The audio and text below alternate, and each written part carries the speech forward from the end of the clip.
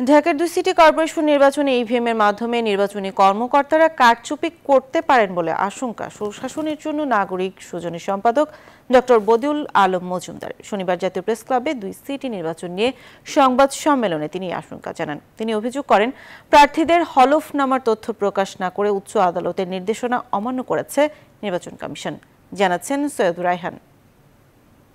সবাইকে আন্তরিক শুভেচ্ছা এবং স্বাগত। ঢাকার আসন্ন দুই সিটি কর্পোরেশন নির্বাচন নিয়ে নিজেদের বিশ্লেষণ ও আশঙ্কা জানাতে জাতীয় প্রেস ক্লাবে সংবাদ সম্মেলন করে সুশাসনের জন্য নাগরিক সুজন। প্রথমেই প্রার্থীদের আচরণবিধি লঙ্ঘনের বিষয়ে নির্বাচন কমিশন নিষ্ক্রিয় বলে অভিযোগ করেন সংগঠনটির কেন্দ্রীয় সমন্বয়ক। সতর্কীকরণ কয়েকজনকে জরিমানা এরকম করা হয়েছে। কিন্তু নির্বাচন কমিশন যে এ ব্যাপারে অত্যন্ত কঠোর এরকম আহ, আমাদের কাছে মনে হচ্ছে না।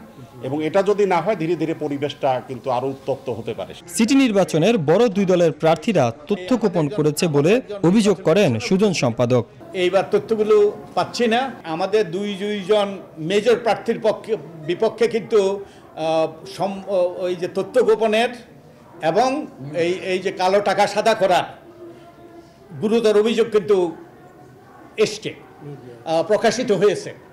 আমাদের সব মিডিয়া আসে নাই তো এখন নির্বাচন কমিশনের দায়িত্ব এগুলো খতিয়ে দেখা। ইভিএম এ ভোট কারচুপি হতে পারে বলে আশঙ্কা তার। নির্বাচনী কর্মকর্তা যদি সৎ না হয়। তিনি যদি ওই যে পক্ষপাত দুষ্ট হন তাহলে আইডি ব্যবহার আইডি ওনার দরকার নাই তো। এটা তো উনি চাইতেও পারেন নাও চাইতে পারেন। তো এই নির্বাচন কমিশনের নির্বাচনী কর্মকর্তার সেই সুযোগ আছে ম্যানিপুলেট করার। নির্বাচনী ব্যবস্থাকে কলুষমুক্ত করতে নির্বাচন কমিশনকে আরও নিরপেক্ষ ভূমিকা পালনেরও আহ্বান জানানো হয় সংবাদ সম্মেলনে। সেই ভয় তো থাকেই।